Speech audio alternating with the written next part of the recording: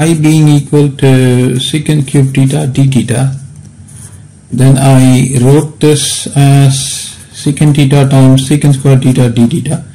Then I took the value of u to be as secant theta and dv to be as secant square theta d theta. I need to get the value of v. So integral of secant square theta is tan theta. So I have shown you how to get this. And in case of u being equal to secant theta we need to get du. du is secant theta tan theta times d theta. I also showed you how to differentiate this. So now coming back to our u uv negative integral v du formula.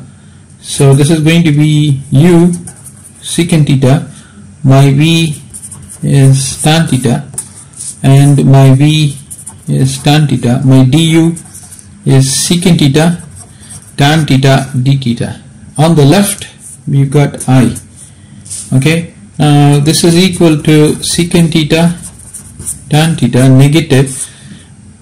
I'm going to multiply these two and I'm going to write it as tan square theta d theta. Now secant square theta negative tan square theta is equal to 1 and I can write secant square theta negative 1 is equal to tan square theta. So in place of tan square theta I'm going to write secant square theta negative 1. So I got secant theta times secant square theta negative 1 times d theta. This is secant theta tan theta. I multiply these two together I get integral secant cube theta d theta negative negative positive integral secant theta d theta over here this is secant theta tan theta. Over here I've got i. But I've taken i to be as secant cube theta d theta integral secant cube theta d theta. So this is going to be an i here. So I push this to the other side I get i positive integral secant cube theta d theta is equal to secant theta tan theta plus integral of secant theta. That is going to be ln modulus of secant theta positive tan theta. We know this is by formula.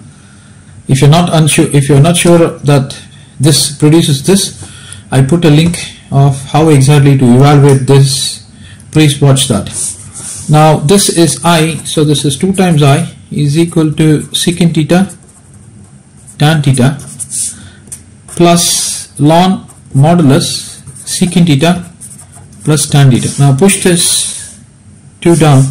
So this is going to be 1 over 2 times secant theta plus, uh, times tan theta plus 1 over 2 times ln modulus secant theta plus tan theta. So this is for secant cube theta.